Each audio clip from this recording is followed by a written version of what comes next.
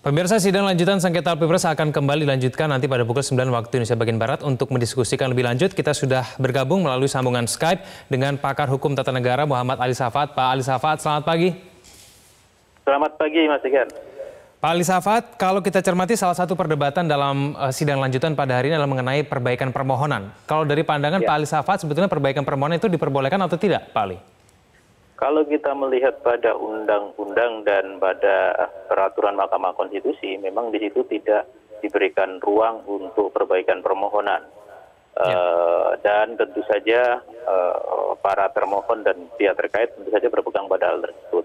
Tapi dalam hmm. perkembangan persidangan kemarin, uh, Mahkamah Konstitusi dalam hal ini Hakim Konstitusi memberikan uh, keputusan yang berbeda bahwa uh, perbaikan permohonan itu dimungkinkan karena hakim menilai bahwa uh, terhadap termohon itu diberikan peluang untuk perbaikan termohon, uh, perbaikan jawaban uh, atas uh, gugatan atau permohonan pemohon.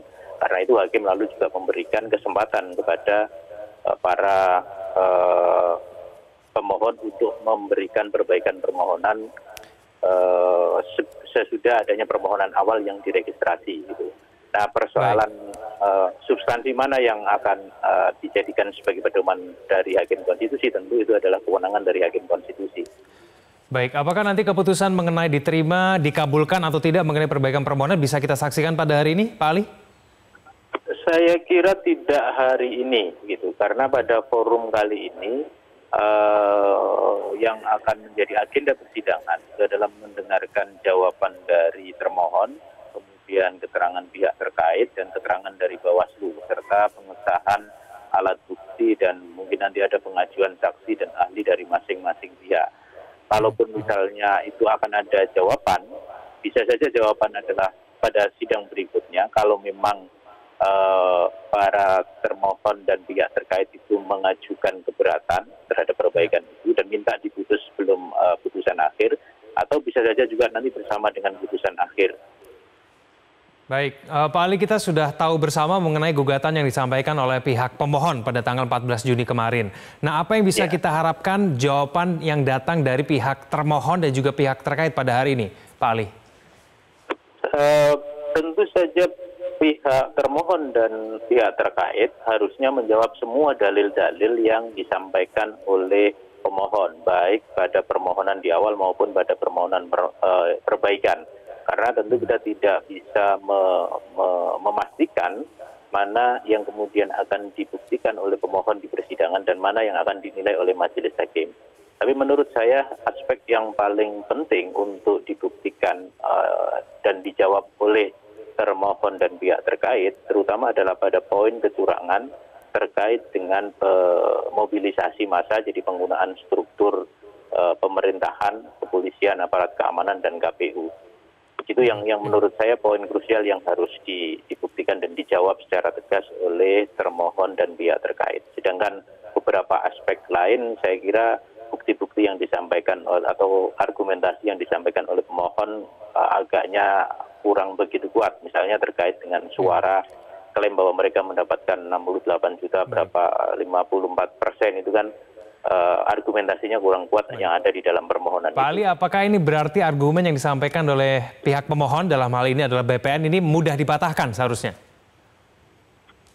Dalam beberapa aspek ya, terutama misalnya terkait dengan penggunaan anggaran pendapatan belanja negara untuk kepentingan uh, pasangan calon 01. Menurut saya itu agak terlalu jauh. Kenapa? Karena kan seolah-olah kemudian mau menyatakan bahwa presiden yang kebetulan kemudian menjadi pasangan calon yang uh, maju lagi menjadi pasangan calon presiden itu seolah-olah kemudian tidak boleh melakukan apa pun gitu. Jadi mau hmm. membuat program mengkaji 13, kaji 14 diajukan itu juga keliru. Saya kira nanti yeah. juga kalau misalnya itu tidak dibayarkan juga pasti akan uh, keliru juga kan gitu. Hmm. Hmm. Berarti sebetulnya tidak ada konflik interest, uh, konflik of interest oleh uh, Pak Jokowi begitu ya Pak Ali ya? Eh, konflik interest pasti ada, tetapi itu dibolehkan oleh undang-undang. Kenapa? Karena ketentuan konstitusi kita dan undang-undang juga menyatakan bahwa calon uh, presiden yang kebetulan menjadi petahana itu kan tidak mengundurkan diri, yang itu berbeda dengan jabatan publik yang lain. Dan ini ya karena urusan kenegaraan gitu.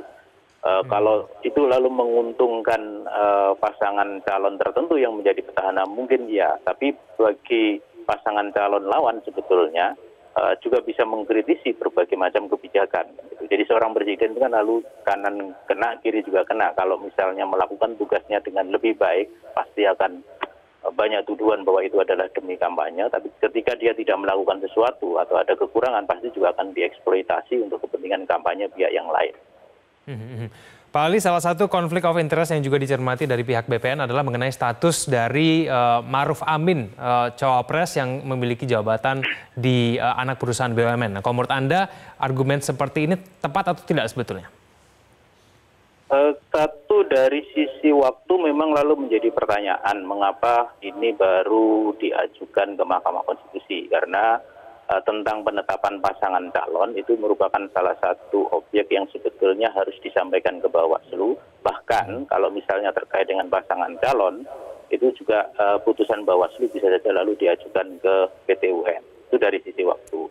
Kemudian uh, walaupun bisa saja beberapa putusan Mahkamah Konstitusi juga tetap menerima itu dan tapi biasanya tetap sudah melalui mekanisme Bawaslu. Ketika ada putusan Bawaslu kemudian KPU tidak memperhatikan nah baru mahkamah konstitusi kemudian akan memperhatikan hal itu.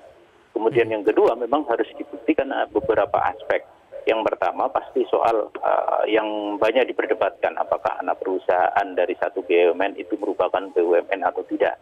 Yang kalau melihat pada undang-undang BUMN memang secara tegas menyatakan bahwa yang disebut dengan BUMN itu adalah uh, badan usaha milik negara dari penyertaan langsung dari kekayaan negara.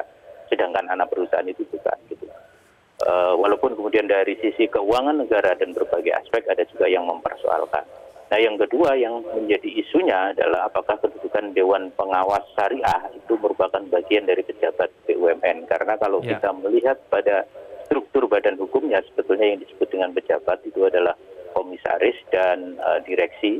Sedangkan Dewan Pengawas Syariah itu sebetulnya kan hanya berfungsi untuk memastikan bahwa produk-produk dari lembaga keuangan syariah itu memenuhi syarat uh, sesuai dengan syariat Islam. Jadi tidak terkait dengan urusan di dalam uh, uh, perusahaan itu sendiri.